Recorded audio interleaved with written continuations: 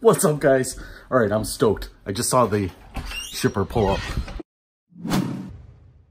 What's happening, Panda Nation? Peter Von Panda here. Hey, hopefully my car should be here soon. So uh, it's kind of a funny year. Um, you know, I've been watching a bunch of cars. There's a bunch on my wish list, my favorites of all time. And, you know, some of them have really gotten to a point where they've depreciated so much that I can't resist taking a very close look at it. So anyway, I've been following uh, a few cars and there was uh, one in particular called Grand Sport that I really wanted. And I really wanted in black, gray, or silver. Silver was my third choice, but that's what I ended up making a deal on. So I ended up connecting with the guy out in California to get this deal done. Now, talk to him and buying a car sight unseen is a little bit of a scary proposition, but walked through it with him. Uh, he told me all about his service history, has uh, records for everything. And so, you know, I kind of took the plunge. And like I said, it's really mostly driven on price. Now, that being said, if you're going to buy a car from anywhere other than some place that you are locally, you should definitely try to protect yourself. Now, what I have behind me is escrow.com. It's not just for cars, but it's for a lot of things, you know, including internet transactions. In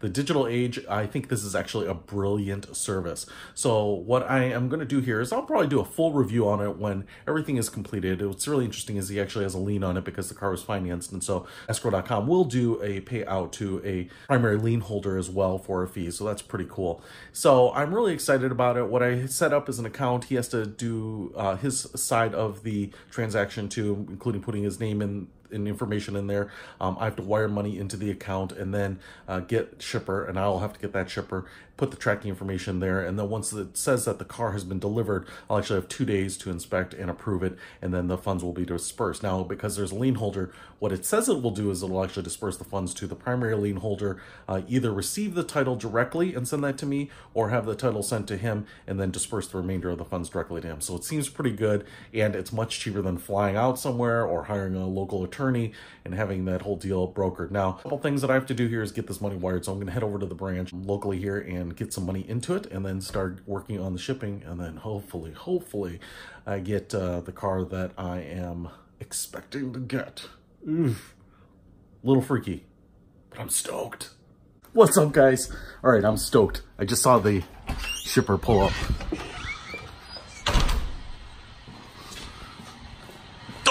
Man, there it is.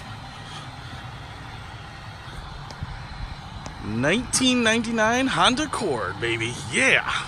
It's cool. It's actually a dedicated car truck, which, or car carrier. Sometimes when you hire auto shippers, they just uh, throw them up on anything. So, uh, even inside of like a box truck. So pretty cool. I'm stoked. He is Jay's second level. Must have run because it got up there somehow. So open transport. It was the cheapest way to get it here, about a thousand bucks to get it from the LA area here to Chicago, uh, which seemed to be kind of about the right price point. Every lowest I could find was like nine something. And uh, this company was based around here, so excited about getting it down. And they were pretty quick. Picked it up on Monday. It is Thursday. So that was uh, picked up faster than I expected. And then obviously once it's on the road, you know, sometimes they have a bunch of stops to pick up or drop off stuff. So really excited that it's here. All right, can't wait. Let's get this thing down. They've unrolled the back here. So it looks like even though there's not a really good approach and departure angle on this, should be able to get the car off. All right, guys, so Peter Von Panda out with Maserati Von Panda. Here's the big reason I got this car, because of the noise it makes.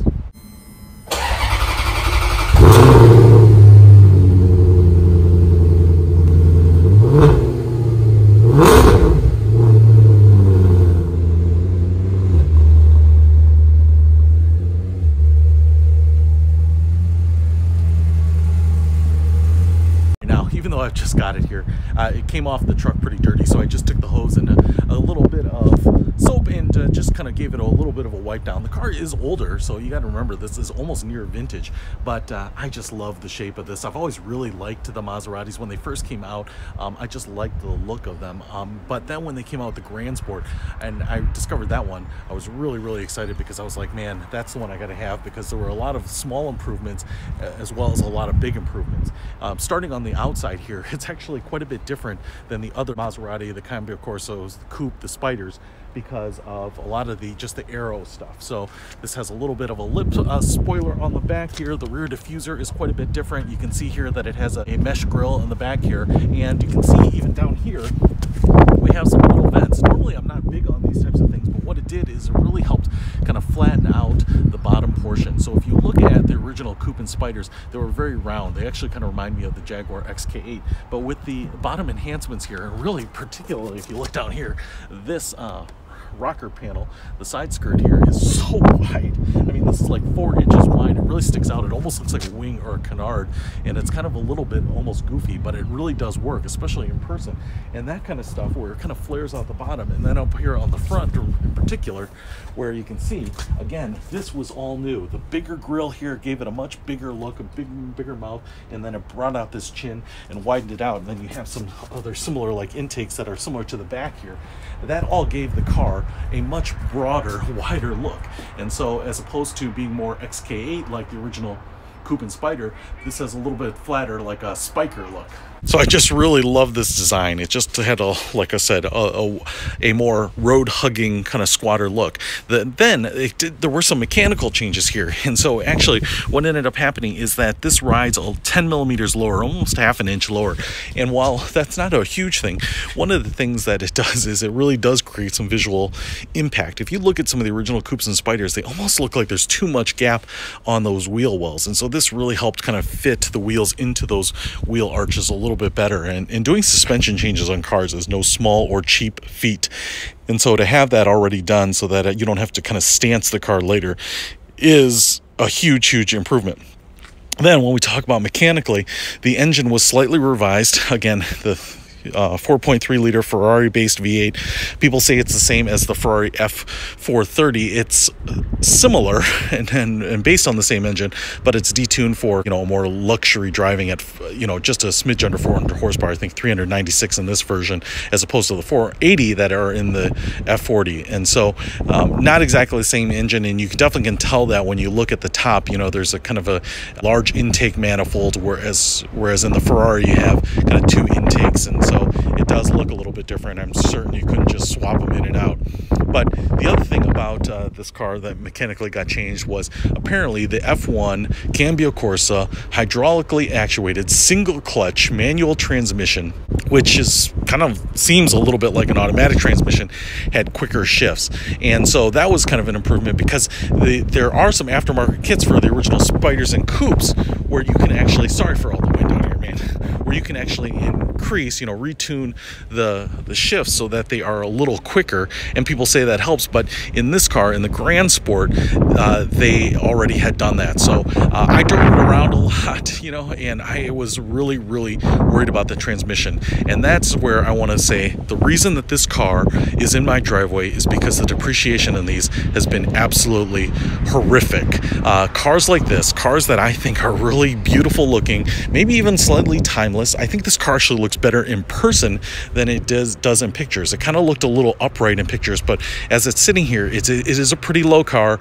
Uh, it's not super wide, so it's it's kind of got a, a pretty narrow body, so that's why it has a kind of upright look. But especially with kind of the the horizontal accents on the side and those big flares, it does have a little more squat look, and it's just pretty comfortable. It's not like getting into my Prowler, which actually I think sits a little lower. So it's a pretty comfortable car, very much like an XK8 that I used to have in a lot of ways. Now, the transmission here is the problem, and that is what has killed this car. Really, really, I, I, I have no doubt about that. People talk about this in the Cambio Corsas, uh, in the Maserati Quattroports, how bad the transmissions are because the F1 was kind of a little bit like Blu-ray when people were moving from DVDs to online streaming. Blu-ray got kind of, kind of caught in the middle. It was a, probably a good product for the time, but now you get high definition streaming uh, with a lot more convenience, and so it was kind of doomed because it just was kind of in a moment when we were shifting from buying physical media to you know, getting it online. And this is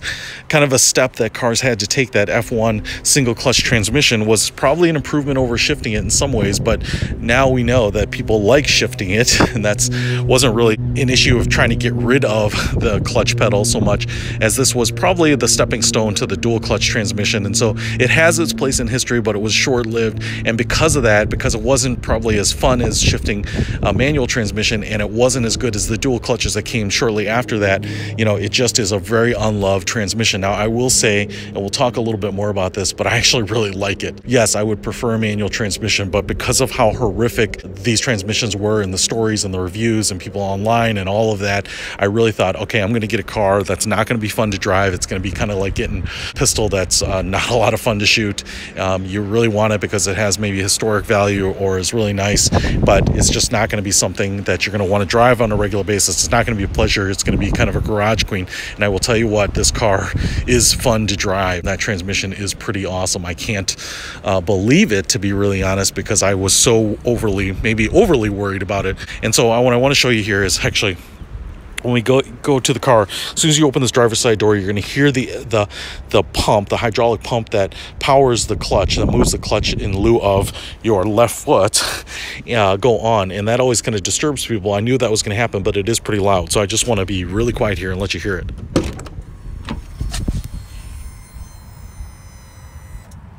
So you can absolutely hear that sucker powering up, and I think one of the things about this is that that pump goes out a lot. And actually that pump has been replaced on this car already because it's gone even though this car is 38,000-ish miles on it that pump has been replaced once. And, and, actually both fuel pumps in here as well as the clutch. And uh, that's part of the problem of the hydraulically operated computer controlled um, clutches is that they wear out. And especially as people are, don't have as much feel driving them, you know, the clutch kind of gets engaged very slowly. And that's why I always keep this car here in sport mode. And that's why the previous owner did too, to, to keep those clutch engagements as short as possible, to keep the wear as, as uh, low as possible too. And so um, hopefully, you know, I think it's probably going to be a better experience, but uh, hopefully it will make the, the clutch that's in here now last uh, a pretty long time. In fact, even though this car has, you know, 30, almost 39,000 miles on it, this clutch has already been replaced. Now, I've heard of people saying, hey, I've got 80,000 miles on my original clutch and it's 60% there. I find those things almost hard to believe because of, you know, how many people have said they've replaced clutches at 20, 25,000 miles. So uh, keep that in mind if you're buying one of these. I would definitely try to get one with a new clutch if you do. But as you can see here, inside is also very nice. And in fact, I remember in, I think, early 2000s when the Cambio Corsa came out, they just talked about that this was the nicest interior that they had ever seen in a car. And I do like the organic shapes, you know, in terms of low volume Italian, you know, almost any European kind of niche car manufacturers, they really just kind of did these flat surfaces. Look kind of look like an old AC Cobra, you know, it's a flat panel wrapped in leather, right? Even the Spykers were kind of flat aluminum panels. Um, and so they, you know, because it's hard to do nice curves and kind of organic shapes, double compound curves and things like that. But this Maserati did them. You know, probably the weakest part of this is the door, which kind of looks a little, kind of a little bit of an afterthought. This car has Alcantara in it. I think everything in here is stock. I tried to buy a bone stock car. You can see Alcantara uh, door pocket here with perforated Alcantara. I have never seen this perforated Alcantara on any of the other Maseratis. I have seen Alcantara, but as, as I understood it, the Grand Sports came with either leather or technical cloth. And actually, I didn't really uh, mind the technical cloth as much as some people, but um, you know, because of the low production numbers on these, I think at like 2,400 Grand Sports to the US or something like that, or maybe even full production, they just aren't that readily available. Now, I haven't cleaned up this car, and this car has been sitting in a warehouse for a little while from the guy who sold it to me, but I, I have a feeling he'd never like customize this. So I think this is an original thing and it's really nicely done. And you can see here it's on the boot, it's on the seats as well. Uh, it's nice. Uh, you know, I like Alcantara for the, the touch and the look. You know, in terms of how it's aging, I'll show you right up here. It kind of starts looking a little frayed, like kind of an old fleece jacket a little bit. Still nice and soft to the touch. But one of the reasons that I made a deal on this car, uh, obviously the overall deal was uh, decent. And so that's what really did it for me. But I liked the color combo. I did not love the color combo. The black interior here was pretty nice.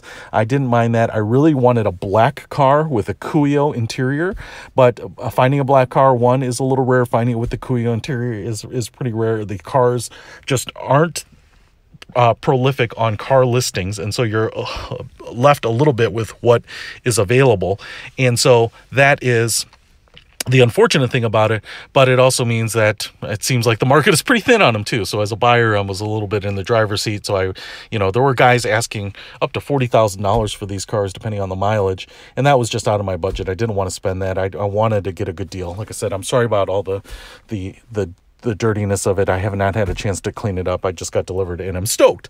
Now, the other thing I want to show you here, I'm just going to ramble on about whatever I want because I'm stoked. To show you this carbon fiber steering wheel with this little metal ribbon right on the top so you know where top dead center is. They've talked about how this is weird shaped. It's kind of an F1 shape. You know, they talk about how they did this to make the gauges more visible. I don't know that they did or if this is just kind of like an F1 steering wheel type of shape here because it's not flat bottomed or anything. I do like this. It's pretty good. I will say that on this one, what also sold me is that the steering wheel leather is not pulling away. Um, the, the fabric on here and the leather on here tends to pull away a lot in a lot of models. And so this was in pretty good shape. This column cover here tends to shake a little bit. It's kind of a cheap plastic. I'm not sure where it's rattling. It's not super bad, but I'm sure I could gasket it a little bit, so I'm going to have to do that. Now, if I show you the gauges here, what I want to show you is they're blue. This is actually very similar to what I saw in the Maserati bi-turbos. So the cars of the early 90s, they use these blue sport gauges. The, the original gauges were like a dual uh, ring gauge with kind of, I think, a black outer ring and then a white inner ring on the other Cambio Corsas Coupe and Spyders. I actually like those better. They seemed more jewel-like to me, more watch-like, but these are, uh, you know, sportier. I'm sure they're a little more heritage, you know, but I do like them. They, they definitely seem a little more premium than a lot of cars, particularly this vintage. Not so much now, but uh, they still look pretty good, so that's kind of nice. I also wanted to show you that the, the the uh, shifting paddles up and down here are metal, but on the back side we have, um, I'm not sure, everyone calls it like a felt, but it's, it, it almost seems like pencil eraser. I mean, it is like a fabric, it's not a rubber, but it's, it's actually pretty hard. That might just be a little bit of age, but you can see here, it feels good. And so that's the nice thing i think when you get in the car if it's been sitting in the sun here these these paddles aren't super hot to the touch where you're touching them there. So they feel pretty good. But i was worried that this might kind of disintegrate and pull off and that you might have to glue some more fabric on there. Not going to be a problem because it's much more rigid than i expected. Now i do want to talk about the interior a little bit more because this is also what sold me. I loved all the grand sport features like the better the faster shifting transmission the slightly retuned uh, engine the lowered suspension the out side fascias and things like that. But it was really from here to here that sold me on this car because what we have are the carbon fiber accents around here. This whole center console is different. So they had a, a display up here on the standard model and, uh, you know, a, a, keypad right here, uh, the environmental controls down here, the shifter knob, which is up here on uh, the, the Spyder. Um, and then this whole thing is a, a leather wrap center console and it was fine. Um, I actually liked it. You know, the, the whole leather wrapping thing looked pretty good. But what they did here was they kind of went more of that sports car look and I just loved it. This in here, right in through here, looks so much more Ferrari-ish to me than luxury car. And it's really cool. I know I've got to clean things up here, but we have a start button. So you, you take your key, you power the car on, and then you hold down the start button. Um, hazard lights sport mode which always stays on which is really nice. That's a question that's come up is whether you put the sport mode on and then when you turn off the car it stays it uh, it always defaults back to regular. It as far as i can tell this this sport mode always stays on. Here is the maserati stability control button here. I would always keep that on for my sake. And then the window buttons. Now i also want to show you here the environmental controls. It looks like there's an auto right here. Um, i have generally put it on auto because that seems to work but the i will say the ac is weird. It kind of blows heavy and then light and blows heavy and light. It's a little weird. It's a little annoying, to be really honest. I'm not sure how to dial this in. If anyone has information on that, I would love to hear it. The original infotainment system, again, pretty dirty, but I actually like the look. I'm, I'm trying to figure out how to get Bluetooth in here so that I can play some music. But I really wanted this car bone stock. So many of these already have different uh, aftermarket stereos in there. And the problem with that is once the wiring harness is screwed up, it's kind of hard to, to put anything back to stock. So I really wanted that there. Um, I actually don't know what this is. I'm assuming that is an environmental sensor, you know, reading the internal temperature. The gate, uh, the vents here are pretty standard. They kind of look like Mitsubishi Eclipse to me. You know, they rotate, they do pop out. But one of the things that I want to show you here uh, that's really impressive about this car is it doesn't have sticky vents. The plastic that they use in here, for whatever reason, has some sort of coating down here on the buttons and on these knobs. And then particularly in these switches, you'll start seeing them ripple as like the coating on it tends to under get really sticky and tacky. I've seen it on other electronics and plastics before too, but this car has been really unique in that these have not been fixed and yet they don't have that problem. So um, I'm not sure if they will have that problem. In some ways, I'd almost rather that someone went through having them all restored because it's kind of expensive, but although you can use some things like uh, green cleaner and clean them up and get that, that finish off of them. But it's also very common in, in the Ferraris, the 355s, 360, 430s, the, the plastic in there has got the same thing. I do love this little metal panel here, the surround that's put in here with all the buttons. That just makes this car look like a Formula car. And then down here, again, this is what, like I said, sold me. This whole center console here is carbon fiber and it just looks awesome. The the black of the carbon fiber here is set off more even by lighter color uh, interiors like the white or the Cuoio. It just really looks pretty striking and it's pretty awesome. This is the the the selector knob it's in drive automatically. Well, it's when you start it up, it's in neutral, but then it's in drive. If you want to put it in reverse, you pull this up and pull it back. And then what we have is you can go into automatic mode here. Uh, I'm not even sure what that is right there. Uh, froster, fog lights, and then I think a dead button. It'd be really cool if this were had been uh, universal garage door opener. That would have been nice. And then the mirror controls over there, which I have tried. 12 volt, contorting right here so that you can charge up things. And then a little panel right here with a, another Alcantara pad. And then what you might be able to see, depending on how far I can turn around, uh, two air vents to the back. And, and as you might be able to see, I've got the front seat here on the passenger side pushed all the way back, but there's still leg room. And then for me, up, uh, you can see I've got the seat where I would use it, and there's still plenty of leg room in the back. That really speaks to how far this roof line kind of goes back. It doesn't drop off like a fastback, although it does kind of look like it. That kind of ruins the line a little bit on the outside. The car looks a little heavy on the cab space on that on that part of the box, but uh, it is what it is, and so it works. But it means that I could really fit a couple people in here. We're gonna have to fix some stuff. Um, I do have a little wrinkle in the vinyl that's wrapped on the A pillar there. You can see that it's not on this side. I'm sure that's maybe heat shrinkage. What's also interesting is this top vent here, and I didn't know this, and I'm assuming that these are uh, original have just little Phillips screws there. They're kind of annoying because when you look up there, you see them and it just kind of looks like it's bolted together. Um, so I'm not a big fan of that. I might try to get a little plastic cap, the little plastic caps BMW use those in the Z3s and cover those up just to make it look a little more finished. Uh, but that's that's kind of nice. I also want to go in uh, here on the clock. Analog clocks are all the rage. Uh, Maserati has used the same design now in all their previous models, but it does add a little bit of class. I really do like that. So pretty pretty clever, but man, I'm just stoked. Not perfect condition, yeah, no, it's not perfect condition. Uh, but after I get this cleaned up, detailed up, and uh, I want to go through all the fluids and everything uh, and drive the heck out of it. But I will say that it drives pretty nice. Here's the overhead console. No one ever shows this. I don't know why. I'm not sure. I don't know. There's a couple holes here. I don't know if those are environmental sensors. I don't think there are any microphones on anything. We've got a couple buttons for lights uh, up here. Passenger light. That light doesn't seem to do anything. A center dome, doesn't do anything. We also have like this jersey mesh material, no mirrors behind it. All this stuff needs to get a little cleaned up. Oh, there's a mirror for the passenger back here. Um, looks like it almost should flip out or something. I'm not sure how this works. I don't want to break it, but I don't really need that. But yeah, once this gets cleaned up, I think it's going to be pretty awesome. The other thing that I really like are these stamped, embossed, almost head uh, rest logos. They just look pretty cool. And if this had been leather in the back there would have been one right in the center there there too but uh, pretty cool. I'm surprised that these persist. I mean i'm not i'm surprised that the leather doesn't shrink around it and kind of wash it out a little bit. I'm not sure if they actually put a piece of leather or something in there and then glue it down, but uh, pretty clever uh, little design. So the other thing I want to show you here is that the uh, surround on the door handles is pretty loose. Now I used to have a Jaguar S-Type and it had the same problem.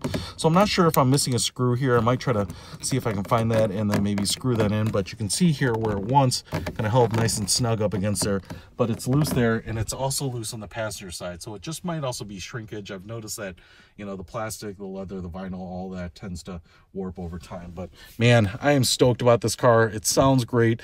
Uh, I will do a more in-depth review on it when we get some time. I will tell you that driving this car is much more pleasant thing than you expect. Uh, you, the shifts just aren't that hard, even in sport. I, I, haven't moved it into auto and I haven't moved it off of sport, but um, you can actually just pull the, the paddle when you're driving and it'll pull shift.